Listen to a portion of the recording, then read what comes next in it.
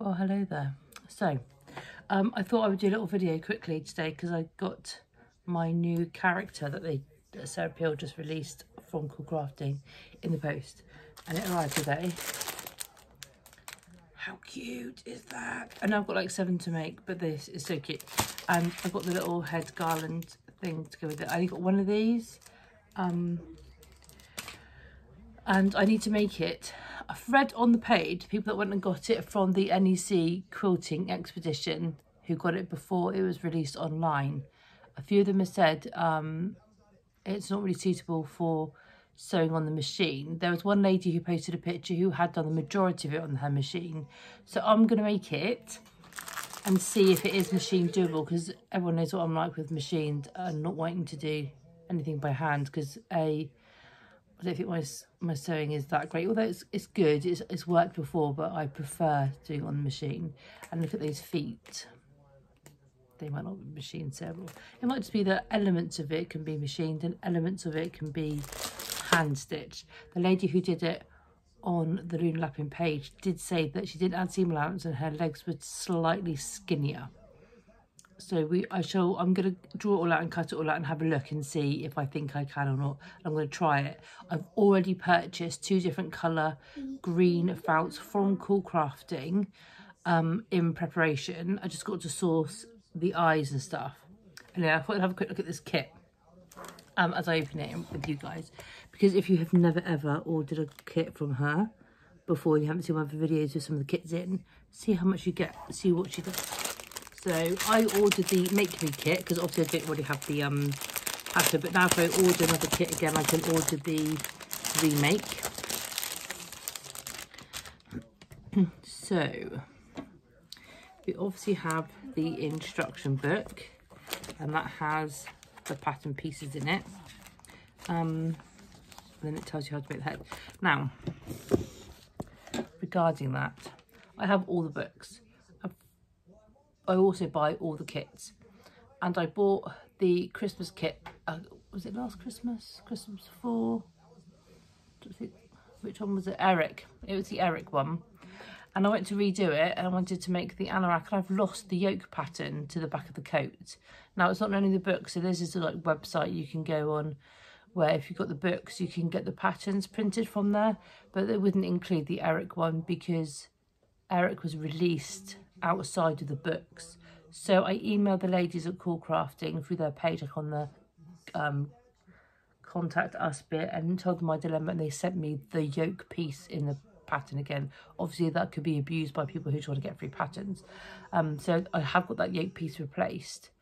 So with this one, what I'm going to do is I'm going to photocopy it first. I'll always have a hard one which is good if you do use the patterns a lot because when you draw around patterns if you don't um, do anything with them to make them solid and safe you do sort of make the outside of the pattern tired. So it's always good to have the original. So sometimes you want to trace off a new set to make sure you get all your dimensions right. So that was my little lesson for this week. Don't lose pattern pieces by photocopying them and always having a hard copy in a file somewhere. Filed. For patterns Ethan, mummy's doing a video in a minute, darling. So, as you can see in the line of there, you get your doll needle and your hand sew needle. Doll needles are, I'm not going to put it out now because doll needles are these long ones, which are good for putting the arms and stuff on. Obviously got your felt. I'm trying to think that's a felt colour I got. I've got two different greens. The white felt for the feet and the under the throat. And there's a little bag of gubbins. So you've got your buttons for putting your arms and legs on. We've also got the big eye buttons. And then beautiful Gutermann thread for hand sewing. Something which matches beautifully. And then separately to that kit, I bought the garland for the head. And this is hot glued, apparently. There's no specific instructions. I'm guessing you just choose where you want to put your flowers on there and hot glue it together. So I will be doing that. Like I said, I will make one and then I will get all the bits I need for it and then I will show you guys how to make it. Whilst I'm here, I thought I'd show you the Luna books for the literacy. So um, Sarah Peel is doing um, literacy boxes. This was the first one. It's the Jane Austen box. The um, next box has already been purchased by everyone and is out and we're now waiting delivery. There was an issue with one item for the box, I believe, but we none of us mind waiting for it because it's going to be beautiful. And the next one is Midsummer's Dream by Shakespeare. And there's two more boxes to come. I believe the next one's Christmas. I don't know if that's going to be in addition to the Christmas box or that'll be instead of the Christmas box. I wouldn't mind either option. Actually, I would prefer two because I love it. Um, yeah, we'll wait and see. I'll open this one in front of you. Lots of people already made this dress and stuff. I'm so behind. It is ridiculous. So, tells you all about it. It also gives you um, the history of Regency and all that gubbins. These are, I love these. Some of them come with little stories, some of them come with little recipes. But the wedding box came with carrot cake recipe, which I haven't made yet. And I really must. The postcard to add to my collection, which I must start framing and putting on the wall because I love the postcards. Got lots of special fabric for the bonnet. So um, he has boots made out of this like pleather stuff. Then you've got all the um, pattern pieces. Oh, look, a little bookmark. I forgot about that one. Oh, I can't frame that. What am I going to do with that one? I have to use it for my patterns or something. I don't know. Um, then all the fabrics for all the clothing, dresses and stuff. And these are all your bits and pieces and stuff that you'll need laces and frills and all that, which I absolutely bleeding well adore because it's just absolutely beautiful. Um, yeah, so looking forward to the next box coming. I'm massively, majorly behind with all of my Luna making.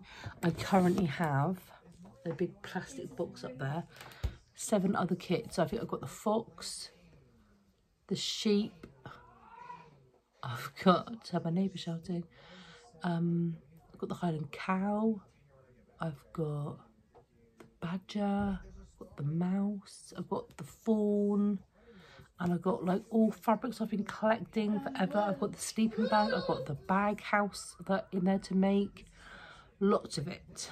And my sewing has been mostly other things and not nearly enough Luna. And I've decided that I need to, I keep saying this though, and um, keep getting distracted. Look, getting very puffy eyes at the minute. So I'm going to, I'm definitely going to make her. I'm going to hand stitch her, mostly probably. And then I shall move on to the next one. I've got you guys to go. Seven minutes and I've bored myself, so it must be boring you. Anyway, how cute is she? She is very cute. She'll make a beautiful addition to my Luna collection.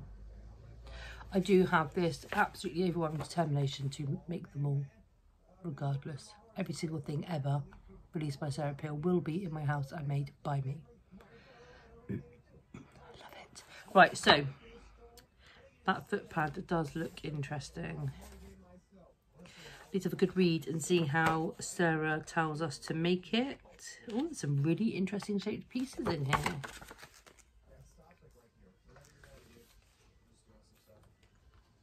I wonder what bit that is. Let me have a look on the pattern now. Don't know. Let's have a look need to photocopy this before I do anything with it. That is that funny squiggly piece, the upper head. Oh, okay, that gives it the shape. It looks complicated, but I've read all the instructions, all the instructions, and all the posts about it. People say it looks really scary, but when you make it, it's really good and it's easy. And all the pictures, they've all come out beautifully shaped, like really good. So I'm really intrigued at how um Sarah is a genius, isn't she? She's just a genius wish I had her talents. She's so clever. And look at that little head garland. It's just so pretty. She's the and look the eyes go around the buttons a little bit.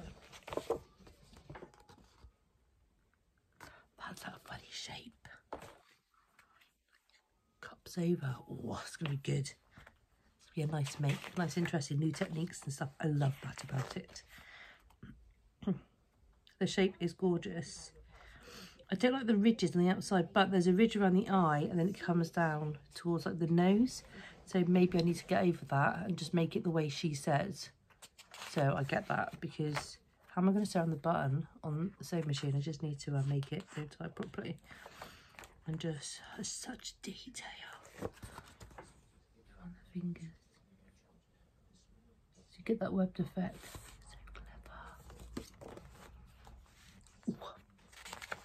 I love sewing. Little love sewing. I wonder what clothes we could make her. I wonder if the Midsummer's box clothes would look good on her. Because that's going to be all whimsical and fairy wings and flowers, I should imagine, being Midsummer's Dream. Wasn't there something about a donkey in Midsummer's Dream? It's been a long time since I read that. The donkey that we've made. Well, half made. I must do that one as well. Right, instead of muttering, I'm going to crack on with my day so I can achieve this later. Thank you very much for watching. Don't forget to like and subscribe. And if there's anything specific you'd ever like me to make content about, please do let me know because if I don't know, I can't make it. Thank you very much. Bye, everyone.